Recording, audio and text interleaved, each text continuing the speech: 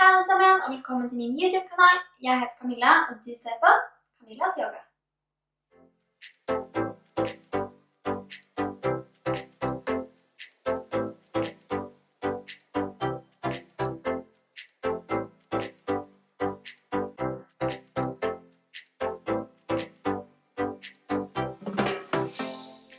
Velkommen til Barnas solhilsen. Denne solhilsen er for de eldste barna på barneskolen. Og så er det jo litt sånn at alle er forskjellige, og det er også barn. Eh, Så du kan velge om du foretrekker de som er ment for de eldre barneskolebarna, eller om du fortsatt har lyst til å leke og la- lage dyrelyder sammen med meg, fordi, eh, med de solhilsene som er for de litt yngre barna.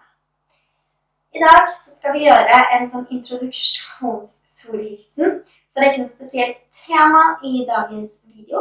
Men jeg kommer til å gå gjennom en liten yogaflyt for å strekke, åpne og være ordentlig gode og greie med kroppene våre. Så da er det bare å begynne. Vi starter stående ganske på toppen av matta. Beina er litt fra hverandre. Og først så bare lukker vi øynene, og så sier vi lyden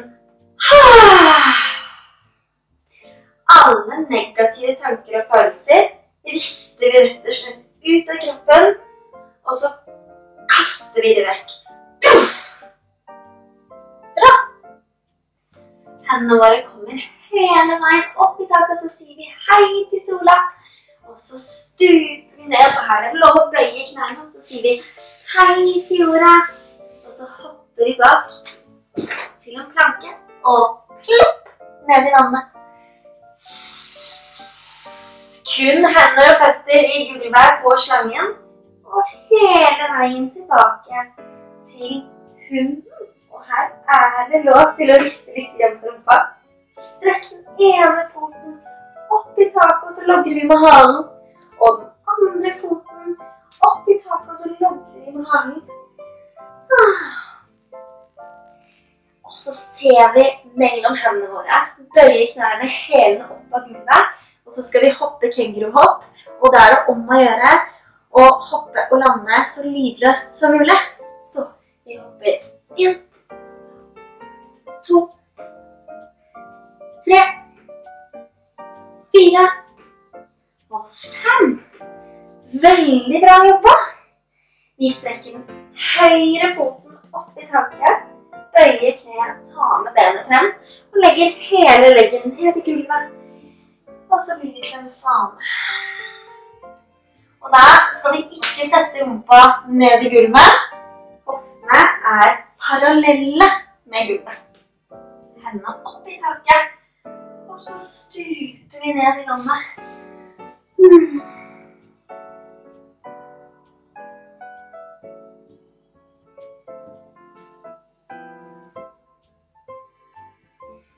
Hendene gulvet under skuldrene, og så puster vi ut. Ah, Idet vi kommer til hunden. Og så strekker vi den andre foten opp i taket, bøyer kneet, tar med foten frem og legger hele leggen ned i gulvet. Strekker overkroppen opp og blir til en svane.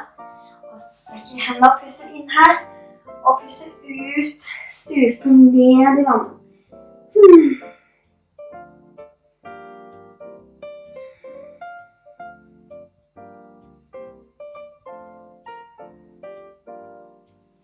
Hendene under skuldrene, ta tærne i gulvet og kommer hele veien tilbake til hunden. Veldig bra, dere. Og herfra så skal vi lage en bølge med kroppen, så vi ruller overkroppen frem. Kommer hele veien til en høy planke. Bøyer knærne, svaier ryggen, og så er det rumpa som leder an på vei opp. Så vi ruller frem, og vi ruller tilbake. Og så lager vi store bølger med kroppen husk, det spiller ingen rolle hvordan dere ser ut. Vi bare flyter for å vise at vi er glad i kroppen vår. Og så kommer vi til hunden, strekker høyre ben igjen, opp i taket, bøyer kneet, tar med høyre foten frem, senker venstre kne i gulvet, og så blir det til en hai. Puster inn her, og puster ut, bøyer oss frem til sjiraffen. Puste inn på vei til hai, og ut til sjiraffen. En runde til. Kommer inn i en stor hai, og puster ut sjiraffen. Og så ser vi om vi kan komme til haien her. Og så tar vi hendene våre i gulvet, og så blir vi til en firfisle. Veldig bra, denne. Hendene gulvet, tilbake til en planke, og så blir vi sideplanke på venstre arm. Store og sterke armene. Dette klarer dere. Og så tar vi høyre foten bak rumpa og løfter hofte og bryst opp mot taket, så vi kommer inn i wild stilling. Og kommer tilbake til sideplanke, til senterplanke og plopp! Og Veldig bra jobba, dere! Andre siden, så vi tar venstre foten opp i taket, på høyre kneet. Foten kommer frem. Og høyre kne i gulvet. Og vi finner haien vår. Så husk på her, dere. Vi skal synke godt inn. Vi skal strekke her. Bare godt for kroppene våre. Så vi puster inn her. Og ut. Til sjiraffen. Så vi puster inn. Og ut. Grunnen til at denne heter sjiraffen, er faktisk en av elevene mine som har funnet på, er fordi det ser ut som det er en sjiraff som bøyer seg ned. Og kommer opp. Og ned. Veldig bra jobba siste gang. Hele veien frem, bøyer kneet. Og så finner vi firfisken. Skikkelig bra, dere. Hendene i gulvet. Og så blir det til en planke. Og så skal vi bli sideplanke på høyre hånd. Og da strekker vi venstre hånd opp i taket. Ah, finner masse styrke. Husk på at høyre arm er rett under høyre skulder. Løfter venstre foten opp, plasserer den bak rumpa og kommer hele veien inn i wild thing. Og sideplanke og senterplanke og plopp. Og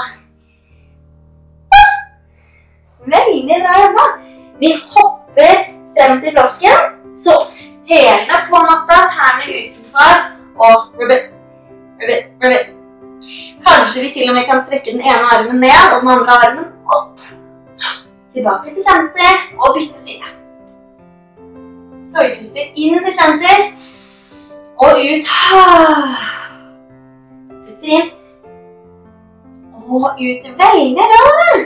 Hendene i gulvet, rumpa opp, og så går vi hel, tå, hel.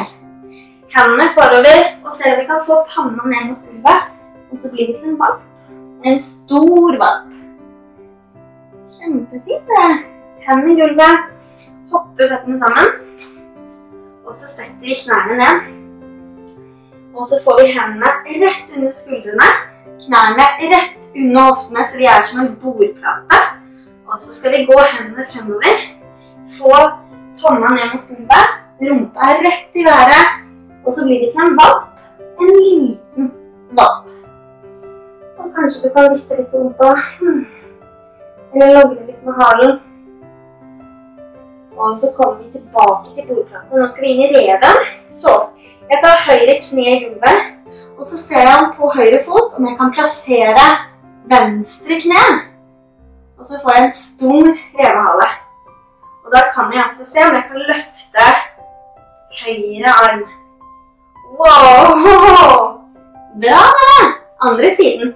Så nå er det venstre kne som er i gulvet, og høyre kne som er oppå venstre fot. Hvis jeg skal løfte en hånd, så må det være venstre hånd. Wow, bra! Og så kommer vi ned hele veien tilbake. Og så går vi til midten av matta, og så blir det til en stor foss. Så vi henger bare overkroppen ned og lar armene svinge langs, langs matta eller gulvet. Og da ruller vi hele veien opp til et stort, stort fjell. hendene foran hjertet. Og så finner vi vekten på venstre ben, og så kommer vi inn i et tre. Så enten så er foten på leggen, eller foten er på innsiden lår. Og for at foten skal kunne være her, så må vi presse helt inn i lår. Ellers så sklir bare foten ned. Så inn her, og hendene foran hjertet. Veldig bra, det! Og så bytter vi side. Og det er lov å ha foten på leken. Det gjør ingenting. Nå er det her. Og balanse endrer seg dag for dag. Så hvis f.eks. du har mye lekser, kanskje du har en prøve på skolen, eller kanskje du til og med har kranglet med mamma eller pappa, da kan det være at balansen er litt ustødig. Men f.eks. hvis vi har sovet veldig godt, og egentlig så har vi det skikkelig skikkelig bra, og alt går som det skal, da pleier man å ha mye bedre balanse. Og det er bare sånn det er. Det ikke noe riktig eller galt. Og så kommer vi ned. Vi skal krysse føttene og sette oss ned uten å bruke hendene. Og så sitter vi enten i indianerstilling. I yoga så heter dette lotus. Eller så tar du den ene foten opp på innsiden låret Men det skal ikke gjøre vondt for knærne dine. Det å kunne sitte i lotus, det er ikke noe som man kan eller ikke kan. Enten så kan man det nå, eller så kan man klare det senere.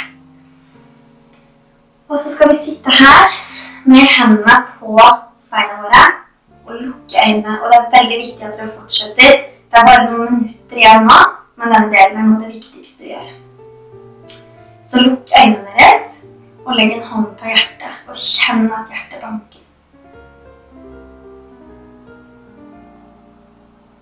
Og legg merke til pusten din. Bare kjenn at den finnes. Veldig bra. Kan du legge hendene ned igjen på beina dine. La øynene dine være lukket hvis du ønsker, og så tar vi hendene sammen foran hjertet. Og i yoga så sier vi ordet namaste. Og namaste betyr alt det gode i meg ser og anerkjenner alt det gode i deg. Så namaste.